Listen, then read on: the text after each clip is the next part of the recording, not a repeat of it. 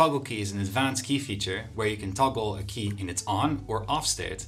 This means that when you toggle it on, it will repeat the key continuously until you press the key again, it will toggle it off.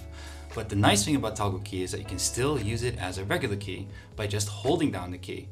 When you're holding down the key and it starts to repeat the key, but you let go, it doesn't toggle it anymore. It actually just worked as a regular key. Now this can be useful for several applications, but the good example that I want to use here is for switching between hold to crouch and toggle crouch, which you have an option for in different games, but some games don't offer you that option. So how to set this up is very easy. Let's jump into the Wootility. You choose one of your profiles, go to the advanced keys. In this case, we're going to bind it on the C key, go to toggle key, and then choose, in this case, which is already there, the C key.